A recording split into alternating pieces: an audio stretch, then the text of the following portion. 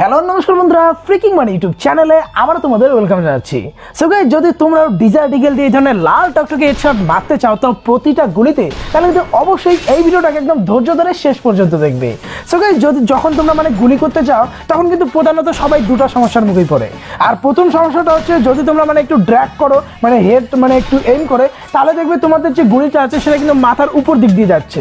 আর এই জায়গায় যদি তোমরা একটু মানে ড্র্যাগটাকে একটু যদি কন্ট্রোল করে কম করো, তাহলে দেখবে তোমাদের বডি শট মানে সাতষট্টি, আটাত্তর, নব্বই, এই ধরনের ড্যামেজ লাগছে তবে গেছে অনেক চেষ্টার পরে কিন্তু তোমাদেরও মাঝে সাঝে একটা দুটো হেডশট লেগেই যায়। তবে গেছে এখানে আমার গেম প্লে দেখো, আমার কিন্তু প্রত্যেকটা গুলিতে লাল টকটকে হেডশট হচ্ছে। হেডশট ছাড়া কোনো কথাই নেই। তার কারণ এখানে কিন্তু গাইস ছোট্ট একটা ফর্মুলা কাজ করে। আর এই ফর্মুলাটাকে যদি তোমরা অ্যাক্টিভ করো, তাহলে কিন্তু তোমরাও শুধুমাত্র হ্যাকারের মতো লাল টকটকে হেডশট মারতে পারবে।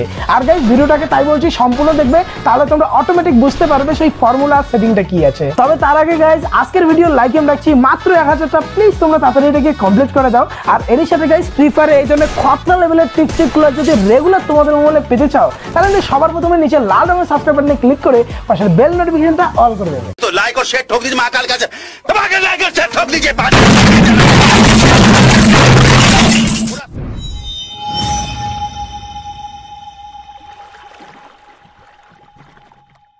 তো গাইজ ডিজার্ট ইগল দিয়ে যদি এই ধরনের লাল টকটকে হেডশট মারতে চাও, তাহলে কিন্তু সবার প্রথমে তোমাদের সেন্সিটিভিটি সেটিং এরপরে আসছে ফায়ার প্যাটার্ন সাইজ ওটার একটা ব্যাপার রয়েছে, এরপরে আসছে আমাদের ড্র্যাগ প্রসেস ড্র্যাগ প্রসেসে তোমাদের লং রেঞ্জে ড্র্যাগ প্রসেস থাকছে মিড রেঞ্জে ড্র্যাগ প্রসেস থাকছে, আর সব শেষে থাকছে শর্ট রেঞ্জ ড্র্যাগ প্রসেস আর সেই শর্ট রেঞ্জে হেডশট মারতে গেলে কিন্তু পুরো মাথা খারাপ হয়ে যায়। তারপরে শর্ট রেঞ্জের ডিফার লকটা একটু বেশি হয়ে যায়, তার জন্য ড্র্যাগ করতে গেলে বারবার গুলিটা এনিমির বডিতেই চিপকা যায়।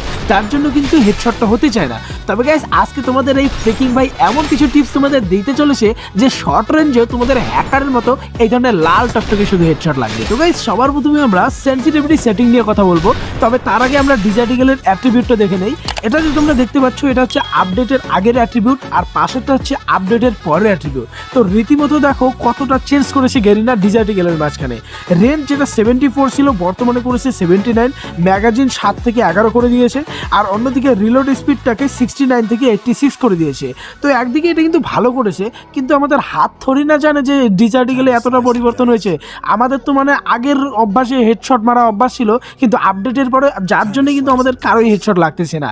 তবে গাইস তোমাদের জন্য ফ্রিকিং ভাই আছে, চিন্তার কোনো ব্যাপার নেই। পুরা sensitivity setting fire button character combination drag process A to Z তোমাদের দেখা দেবো। জাস্ট ধৈর্য ধরে শেষ পর্যন্ত দেখো। তো গাইস এখন আমরা সেন্সিটিভিটি সেটিং নিয়ে কথা বলব। তো এখানে কিন্তু আমি আগে থেকেই তোমাদের একটা কথাই বলি যে ওয়ান টাইপ হেডশটের ক্ষেত্রে কিন্তু জেনারেল সেন্সিটিভিটিটাই আমাদের প্রধান। যদি এটাকে তোমরা একটু কম রাখো, তাহলে দেখবে হেডশট মারার ক্ষেত্রে বারবার গুলিটা বডিতে গিয়ে লাগছে। আর যদি একটু বেশি রেখে দাও, তাহলে দেখবে বারবার মাথার উপর দিক দিয়ে গুলি যা যাচ্ছে তো এবারে কথা হচ্ছে সেন্সিটিভিটি কম রাখবে না, বেশি রাখবে, সেটা তোমরা কীভাবে বুঝবে? এটা গাইছে একদমই সিম্পল যদি তোমাদের মোবাইলের র্যাম এক, দুই বা তিন জিবির কাছাকাছি থাকে র্যামটা বা প্রসেসরটা যদি একটু লো এন্ডের হয়, তাহলে তোমাদের জেনারেল সেন্সিটিভিটি একদম হান্ড্রেডে রেখে খেলতে হবে। আর যদি তোমাদের প্রসেসর বা র্যাম ছয় জিবি বা তার উপরে বা প্রসেসর যদি ভালো হয়, তাহলে কিন্তু তোমাদের যেটা সেন্সিটিভিটি আছে, সেটা কিন্তু এইটটি ফাইভ থেকে নাইনটি ফাইভের মাঝে রেখে খেলতে হবে। আমার যেটা ডিভাইস আছে, এটাতে র্যাম হচ্ছে তোমাদের ছয় জিবি, যার জন্য আমি কিন্তু সেন্সিটিভিটি নাইনটি থ্রিতে রেখেই খেলি। আর এই টোটাল লাল টকটকে হেডশটগুলো কিন্তু এই সেন্সিটিভিটির উপরেই রেকর্ড করা হয়েছে। গাইস এবারে আসছি আমরা রেড ডট সেন্সিটিভিটিতে যদি গাইস টেকনিক্যালি দেখা যায়, তাহলে কিন্তু ডিজার্টিক্যালের রেড ডটের কোনো কাজই নেই। কিন্তু ভাই, এটার গ্যারিনা ফ্রি ফায়ার এখানে কিন্তু সব কিছুই সম্ভব। আপডেটের আগে আমার যেটা হান্ড্রেড ছিল হান্ড্রেডে লাল টকটকে হেডশট হতো।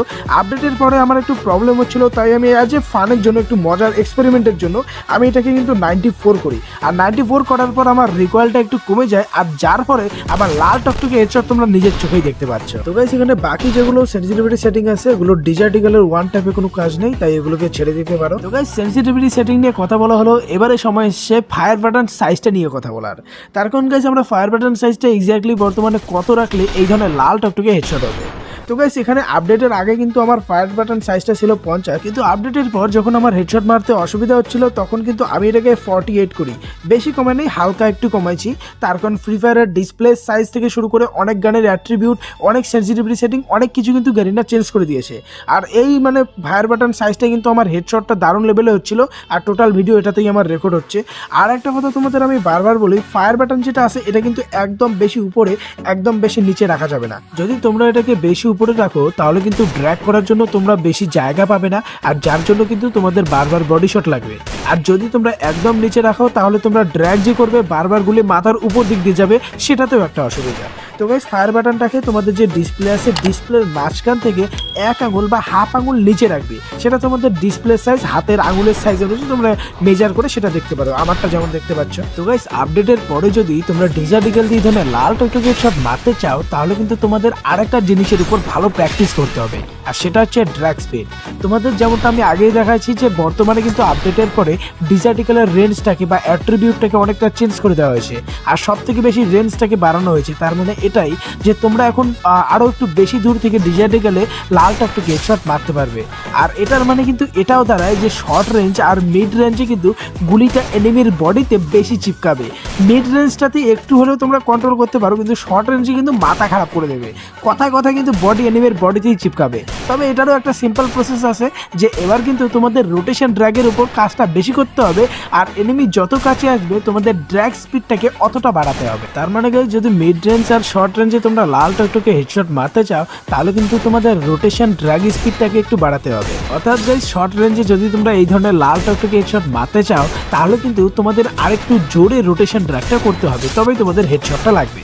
তো গাইস এবারে আসি আমাদের মেন টপিকে আমাদের সেন্সিটিভিটি সেটিং গেল ফায়ার বাটন সাইজ গেল। এবারে কথা হচ্ছে ডিজার্টিক্যাল দিয়ে এই ধরনের লাল টকটকে হেডশট আমরা মারবো কীভাবে? তো গাইস আপডেটের পর ডিজার্টিক্যাল দিয়ে লাল টকটকে হেডশট মারার প্রথম সিম্পল প্রসেসটা আমরা প্রথমে দেখে নেব। তো গাইস হেডশট মারার কিন্তু সবার প্রথমে তোমাদের যে এইম কার্সারটা আছে, ওটা এনিমের কাছে রাখতে হবে। মেক শিওর ওটা বডিতে থাকবে না, ওটা একদম সাইডে থাকবে। তবে এইম কার্সারটা যেন লাল হয়ে থাকে। তো গাইস এটা হওয়ার পরে জাস্ট তোমাদের শুধু ড্র্যাগ করতে হবে। তবে নর্মাল ড্র্যাগ করলে এখানে হেডশট এবার লাগবে না। এটার জন্য তোমাদের হালকা রোটেশন ট্র্যাক করতে হবে। এনিমিটা যেই সাইডে থাকবে, ওই সাইডে একটু রোটেট করে তোমাদের ট্র্যাক করতে হবে। যদি রাইটে থাকে, তাহলে রাইট লেফটে থাকলে লেফট তো তোমরা তোমাদের সুবিধা মতো ড্র্যাগ করবে, সুন্দর লাল টকটকে হেডশট লাগবে। কিন্তু এবারে কথা হচ্ছে, এই প্রসেসটাকে আমরা লং রেঞ্জ শর্ট রেঞ্জ আর মিড রেঞ্জে কীভাবে ব্যবহার করব?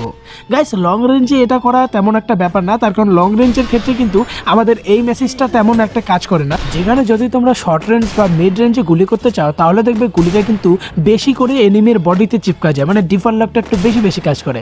আর লং রেঞ্জের ক্ষেত্রে কিন্তু এটা একটু কম করে। তবে গাইস লং রেঞ্জে যদি তোমরা নর্মালি হুদাই ড্র্যাগ করো, তাহলে কিন্তু গুলি মাথার উপর দিক দিয়ে যাবে বা কচিতে হেডশট লাগতেও পারে, আর না লাগলে তো বডি শট লাগেই। তো এটাই হচ্ছে প্রসেস তবে হেডশট লাগার ফর্মুলাটা তাহলে কি? তো গাইস লং রেঞ্জে লাল টকটকে হেডশট মারতে হলে কিন্তু তোমাদের যে এম কারসারটা আছে, ওটা কিন্তু এনিমির বুকে রাখতে হবে। আর সব সময় বুকে রাখার একটাই প্রসেস আছে, এটার জন্য একটা শর্টকাট তোমাদের বলে দেই। তোমাদের যে এম কারসারটা আছে না, ওটাকে এমন একটা পজিশনে রাখবে যাতে সেটা তোমাদের গলা বরাবর থাকে। যখনই তোমরা এই পজিশনটা মেনটেন করে খেলা, খেলতে খেলতে প্র্যাকটিস করবে দু একদিন অটোমেটিক বুঝতে পারবে যে লং রেঞ্জে এনিমির মানে এনিমি দেখলেই কিন্তু দেখবে তোমাদের কারসারটা এনিমির বুকের কাছাকাছি থাকছে। আর ওখানে যদি হালকা ড্র্যাগ করো, সুন্দর লাল টকটকে হেডশট তবে গাইস এবার কথা হচ্ছে মিড রেঞ্জ মিড রেঞ্জের ক্ষেত্রে আমরা করবোটা কি? গাইস যদি মিড রেঞ্জে তোমরা যদি লাল টকটকে হেডশট মারতে চাও আপডেটের পরে, তাহলে কিন্তু তোমাদের ফর্মুলাটা একটু বদলাতে হবে। তার কারণে একটা জিনিস অবশ্যই মাথায় রাখবে, তোমাদের এইম কারসারটা তোমাদের গলা বরাবর রাখতে হবে। মিড রেঞ্জের ক্ষেত্রেও কিন্তু এই ফর্মুলাটা মাস্ট মানে এইটটি পার্সেন্ট কাজ এটাই করে দেয়। তবে এটার ক্ষেত্রে আরেকটু আলাদা মানে প্রসেস তোমাদের ইউজ করতে হবে, সেটা হচ্ছে তোমাদের এইম কারসারটা কিন্তু এনিমির বুকে বা বডিতে রাখা চলবে না। অবশ্যই সেটাকে তোমরা লাল করবে, কিন্তু এনিমি সাইডে রাখবে। লেফট বা রাইট দেখতে পাচ্ছ, আমার যেমন লাল হয়ে আছে, তো এরকম তোমরা সাইড রাখবে। আর এনিমি যেই দিকে থাকবে ওই দিকে তোমাদের রোটেশন ড্র্যাগ করতে হবে, তাহলে সুন্দর একটা লাল টকটকে হেডশট পেয়ে যাবে। আর এটা দু একদিন প্র্যাকটিস করলে তোমরা সহজে তোমাদের হাতে চলে আসবে। আর তোমাদের একটা গোপন টিপস বলে দিই, তোমরা যদি তোমাদের এম কারসারটা তোমাদের গলা বরাবর রেখে খেলাটা মানে প্র্যাকটিস করো না, তাহলে তোমরা দেখবে তোমাদের যে কোনো বন্দুক দিয়ে খুব সহজে হেডশট মারতে পারছ। তো নিজেরাই ট্রাই করো, অবশ্যই নিজের কমেন্ট বক্সে জানাই দেবে। গাইস এবারে সব থেকে প্রবলেমের ব্যাপার হচ্ছে একদম শর্ট রেঞ্জ বা ক্লোজ রেঞ্জে কীভাবে আমরা ডিজার্টিকিল দিয়ে এই ধরনের ভয়ানক হেডশট মারতে পারব। তো গাইস এটার জন্য দুটা প্রসেস তোমাদের অ্যাপ্লাই করতে হবে, তবেই তোমরা শর্ট রেঞ্জেও এই ধরনের লাল টকটকে হ্যাকারের মতো হেডশট মারতে পারবে। গাইস এটার জন্য যেমন দেখতে পাচ্ছ, সামনে এনিমি আসছে, এটার জন্য এনিমি যখন তোমাদের ক্লোজ আসবে, সঙ্গে সঙ্গে তোমাদের একটা সুপার জাম্প নিতে হবে। গাইস জাম্প করার সঙ্গে সঙ্গে তোমাদের যে এইম কারসারটা আছে, ওটাকে তোমাদের ঘুরিয়ে এনিমির পাশাপাশি আনতে হবে। যখনই এনিমির কাছাকাছি আসবে, তারপর যখন নিচে তোমরা ল্যান্ড করবে, তখন তোমাদের সুন্দর আস্তে করে একটা ড্র্যাগ করলে লাল টকটকে হেডশট হয়ে যাবে। আর এটাকেই আমরা বলি সুপার জাম্প হেডশট তো ভিডিও ফিনিশ তো গাইস আজকের এই ভিডিওটা কেমন লাগল? আর এরই সাথে তোমরা কোন জায়গা থেকে ভিডিওটাকে দেখছ, সেটা কিন্তু অবশ্যই নিচের কমেন্ট বক্সে জানাই দেবে। সো গাইস আবারও দেখা হচ্ছে নতুন কোনো ভিডিওতে নতুন কোনো টিপস ট্রিক বা গ্লিচের সাথে। তাদের বাই